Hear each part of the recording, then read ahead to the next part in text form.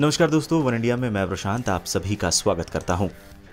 Indian premiere league के तेरहवें season में आधिकारिक तौर पर चेन्नई सुपर किंग्स का सफ़र खत्म हो गया। किंग्स इलेवन पंजाब के खिलाफ खेले गए अपने आखिरी लीग मैच में सीएसके ने 9 विकेट से शानदार जीत दर्ज की। ये पहला मौका है जब सीएसके आईपीएल इतिहास के प्लेऑफ में नहीं पहुँच पाई है। सीएसके प्लेऑफ के दौर से पहले ही बाहर हो चुकी थी, लेकिन टीम ने अपने आखिरी तीन मैच जीतकर फैंस को जश्न मनाने का मौका ज़रूर दिया और साथ ही मज़बूत वापसी का वादा भी किया।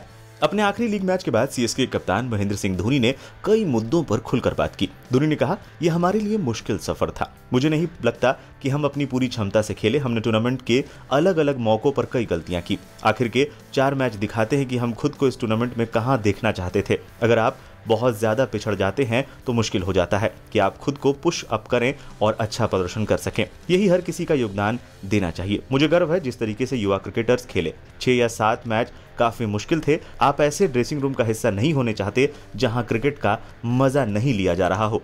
उन्होंने कहा, आप नए फॉर्मूला और थ्योरी के साथ जाना चाहते हैं, लेकिन अगर ड्रेसिंग रूम का माहौल अच्छा नहीं रहता है तो ये काफ़ी मुश्किल हो जाता है। काफ़ी कुछ इस बात पर निर्भर करेगा कि बीसीसीआई ऑक्शन को लेकर क्या फैसला लेता है। हमें अपने कोर ग्रुप में कुछ बदलाव करने होंगे और अगले दस साल के बारे में सोचना होगा। आईपीएल की शुरुआत में हमने ऐसी टीम बनाई जिसने हमारे लिए अच्छा काम किया। एक समय आता है जब आपको थोड़ा शिफ्ट तो होना पड़ता है और अगली जनरेशन को ज़िम्मेदारी सौंपनी होती है। यही हमारी पॉलिसी रहेगी कि हम मज़बूत कोर कोर ग्रुप तैयार करें।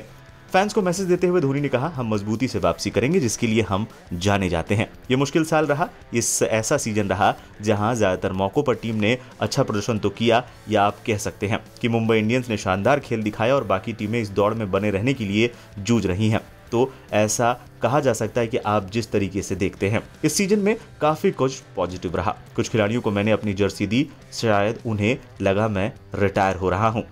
आपको बता दें, टॉस के दौरान ही धोनी ने ये खुलकर कह दिया था कि वो अगले सीज़न भी ज़रूर खेलेंगे।